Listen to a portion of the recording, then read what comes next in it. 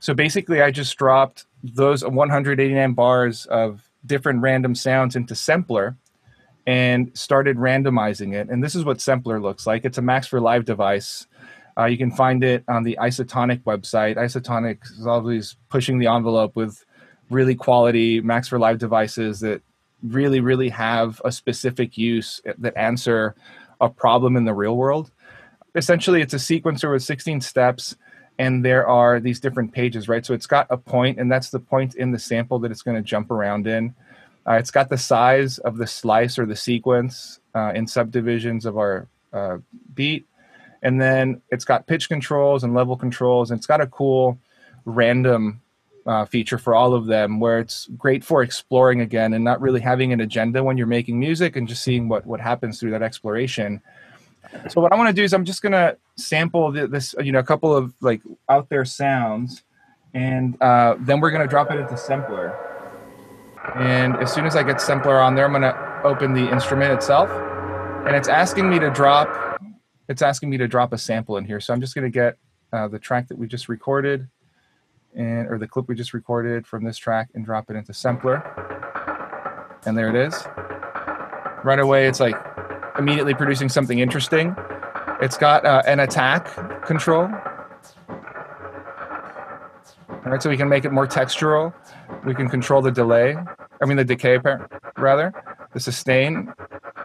And that's of each one of the steps.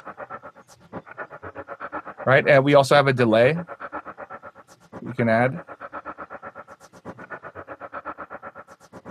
Right, and we've got a filter on there too that we can set up too. So we can make it a little bit darker if we wanted to. So what I want to do is I just want to start randomizing some stuff. So I'm going to go to the point page and randomize the point. Already really different pattern, randomize it again. I'm going to go to the size page and randomize that so you guys can get uh, a feel for what that does. They're all eighth notes right now. A lot of rhythmic variability and possibility with it. And let's make the attack a little bit faster. Makes it way more percussive. Increase that decay, just kind of make it just a little bit more organic sounding, I think, with that tail. Uh, it gets really interesting when we start messing with the pitch because those springs did have a pitch, but not really, they weren't tuned to anything.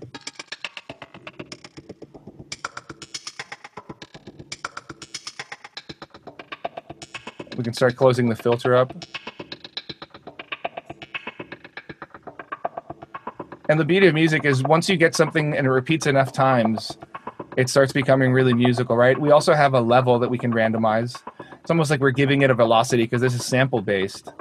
One of the coolest things about Sempler, or when you're working with a, a device, you know, you're not you're not just controlling it; you're letting it do its thing. Especially when you're using random features, uh, it can be really stifling if you go, "Oh, I found the right pattern. I'm never going to touch this device again because it's like making the right pattern." So you want to commit it to audio, which is what I did in the previous track. So the way resampling works is uh, we set up a new audio track, which is this resample track.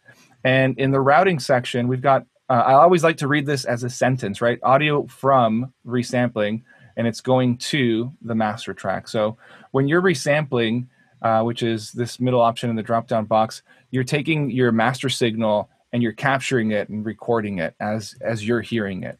So what I want to do is I want to resample uh, what's happening with Sempler.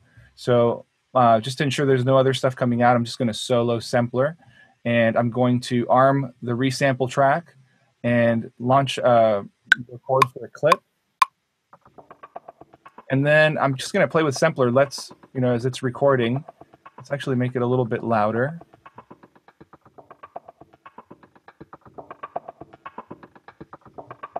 A little bit more. And then give it a little bit more heat. All right, so now, you know, we can start jumping around. Uh, let's jump around the size. So that's a different pattern. Let's jump to different points.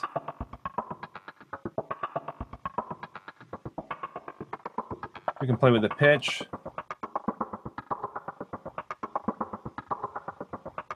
That's a cool one.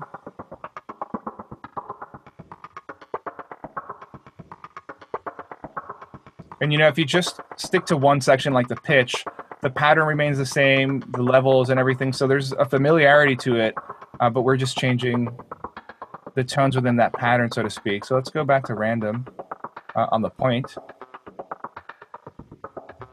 Right, and then now we can stop uh, recording this clip or I'll stop uh, global playback and that'll stop Sempler too because otherwise since this is just a sequencer it doesn't require a clip or MIDI input to play. It just needs uh, global transpose to be on play for it to go on forever. So now we can go and solo our resample track. Uh, there are no effects there's no processing on it. It's just again recorded it was coming up. And this is a cool illustration of it literally capturing what you're hearing because this is me raising the volume. You can see the waveform getting a little bit more gain right here. And you know, all it's left to do is start to find an interesting section, right? And it's already quantized.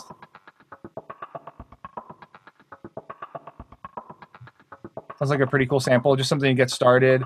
It'll add a lot of texture to your rhythm section. Uh, it could be something in the background. You can even add more delay and start playing with it as, you know, something that's launching its own delay tails. So I really like it. Um, I, I, think Max for Live is a great addition if anybody's thinking of upgrading to Max for Live from standard, or if you have Suite and you don't touch Max for Live because you're like, I don't know what that is.